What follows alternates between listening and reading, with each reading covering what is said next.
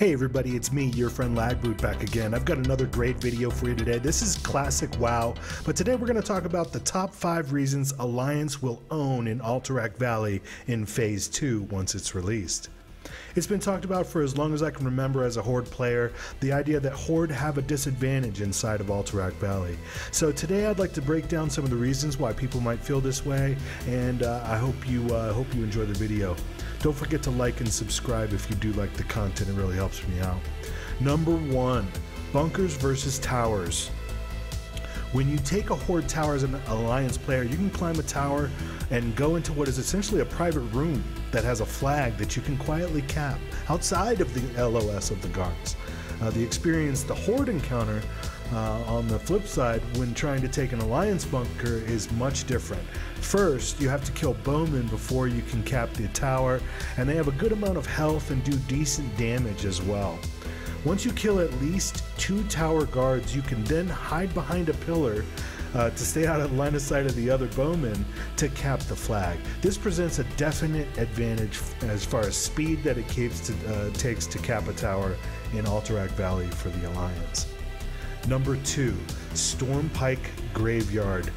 Alliance has uh, two very profound geographical advantages when, with regards to choke points, and one is at the top of this hill, right before Stormpike Graveyard. This is high ground, and we all know what that means. What's worse is if you make it to the top of this hill, you'll encounter a tight valley uh, between two mountains making another choke point all the way through the valley. Once you make it to the graveyard, then you encounter the guards, which after that gauntlet you may be uh, spent and have, and then you get uh, you know attacked by the guards. And uh, the graveyard for the alliance is very close to this choke point.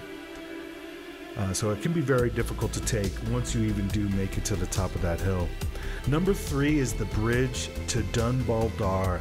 Uh, once you take Stormpike Graveyard, you'll know you'll now notice you have to cross a bridge to get to the Alliance base. This is the only way into the base and and effectively funnels all the horde onto this bridge. And it is by far the most pronounced advantage Alliance have over Horde in Alterac Valley and uh, and it is just a very difficult, ch- tight choke point that they can keep you on. And I think the uh, experiences most people have in Alterac Valley will bear that out.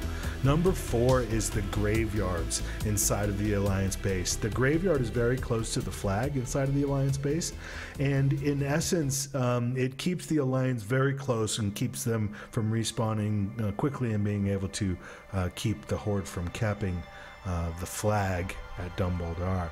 The the the, in my opinion, this is this is a very distinct advantage of having the graveyard so close to the flag, right in front of their commander's base.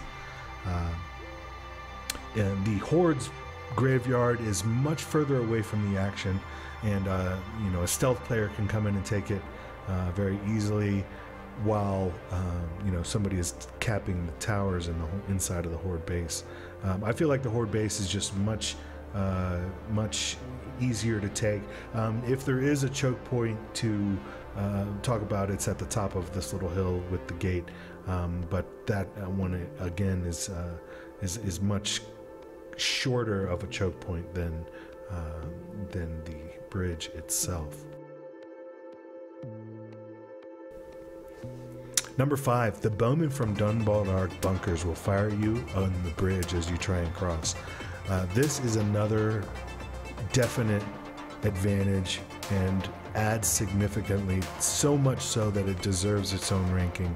Um, the Bowmen rank very highly in the amount of kills that they've received as far as NPCs, and these numbers bear out that uh, with what the Blizzard has uh, released, letting us know that the Alliance have reached uh, our command, uh, the Horde's commander, way more than we've uh, and, and, have died significantly more um, because they've reached it much more. So the numbers definitely bear out that the the alliance have a, an advantage. It's going to be very interesting when all of the NPCs are added back after Classic.